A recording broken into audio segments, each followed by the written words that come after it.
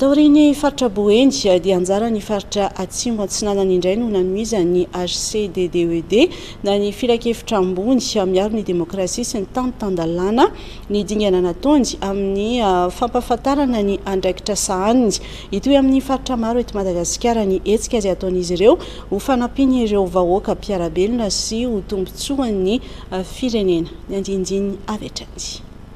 Manana anjara toerana lehibe ary kitro ifaharan'ny fampandrosoana ny firenena ny fametrahana ny tany tan-dalàna sy ny demokrasia ary ny fampiroboroboana ny fampanjakana, ny fiarovana ny zon'olombelona, araka ny foto-kevitra voizin'ny HCDDUD na ny Filankevitra Ambony miaro ny demokrasia sy ny tany tan-dalàna, nandritry ny atrikasa izay notontosaina tao amin'ny distrikan'i Farafangana.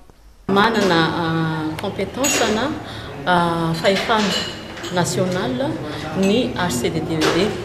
Ny olana anefa dia mbola ao Taninarivo irery ihany izahay membre fa tsy mbola manana rantsa mangaika aty amin'ny faritra dia izay no mahatonga anay Miezaka manao an'ity atrikasa ity fampahafantarana anay satria dia fantatra fa tsy mora ny andraikitra ka mila izany izahay manantona ny vahoaka mampahafantatra an'io andraikitra io ahafahan'izy ireo manantona anay ka ahafahanay manampy azy ireo koa ho amin'izany fampanjakana ny tany tan-dalàna sy ny demokrasia.